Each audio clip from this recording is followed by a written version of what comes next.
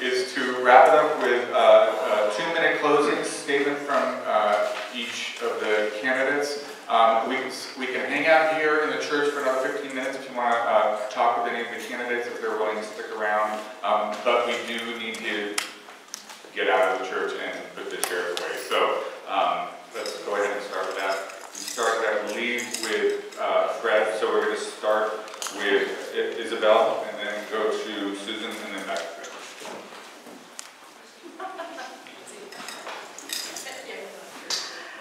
Thank you all very much. I grew up outside of Washington, uh, D.C. in Bethesda, Maryland. Many of my friends' parents worked in the government, included, including a number of senators and rep- representatives. I worked on several of their campaigns in junior high school and high school, and it was a great learning experience. One of the most important lessons for me was that an incumbent has to run on their record. So let's look at Susan Wengraf's record over the last eight years. When Susan entered office in 2008, Berkeley had four public sw- swimming pools.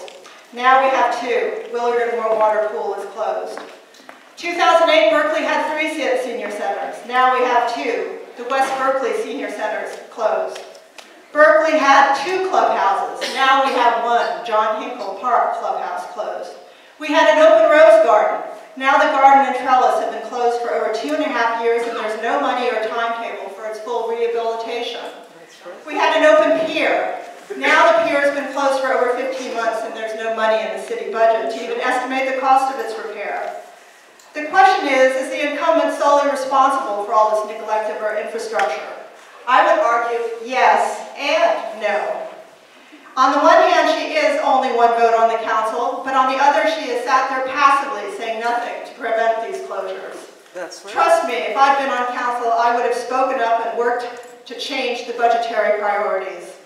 In conclusion, it is up to you, the voter, to decide whether Susan gets another four years after eight years of what I think has been benign neglect of our beautiful city.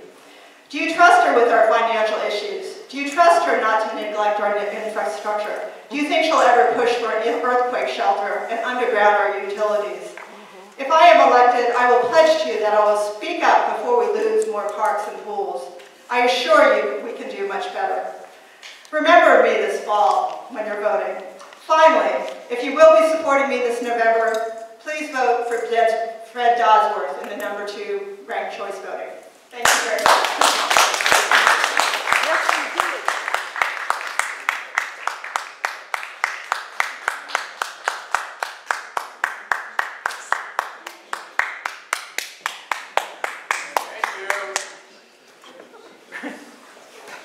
I, need to correct some of the things that were just said. First of all, I, I don't even want to go into the detail. Everything that was just listed is completely wrong. You need to do your own research. Okay, just trust me. Oh, it's all wrong. Oh, yeah. Also, let me just tell you what I have done, because I am running on my now. For those of you who maybe know about the CERT program, which trains people to deal with catastrophe and disaster, we have, for the past eight years, organized the entire city. We have given courses, we have given caches, and we have tried to teach people how to be self-sufficient. Because trust me, when an earthquake or a wildfire happens, you have to be able to know what to do yourself. Emergency responders are not going to be there for a long time. So to say that I have done nothing is just ridiculous. You don't know. You don't know what I've been working on. All you know is the council items that have been published. You don't know what's been going on in the back. Hmm? You don't know all the work that I've been doing with staff.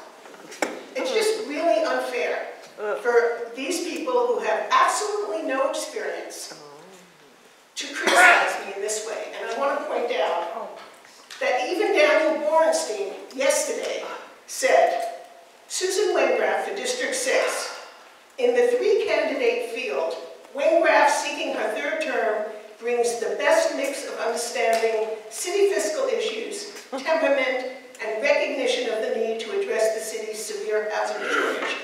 Daniel Borenstein, the most conservative fiscal writer uh, in the Bay Area. So I ask for your support.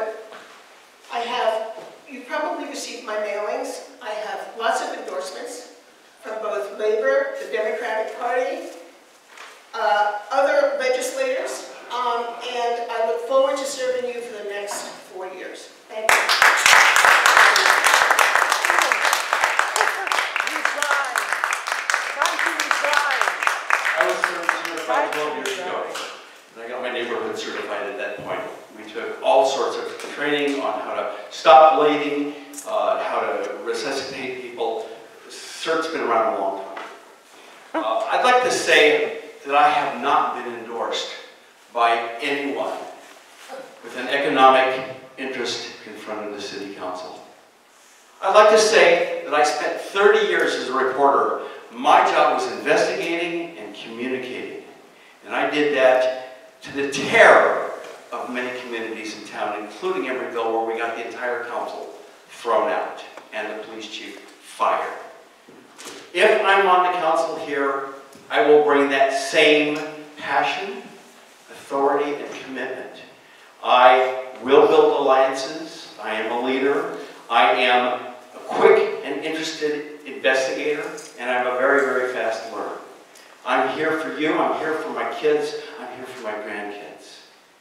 I think Berkeley is going down the wrong path. I'd like to suggest to you that, how many seconds do I have? 30?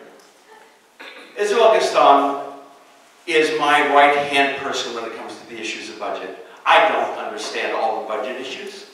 I haven't had to deal with them for the past 24 years or past eight years. I'm sure I can get on them, but if I'm elected, she'll be the person I go to. She is who I encourage you to vote. If you can't stand me, I encourage you to vote for her.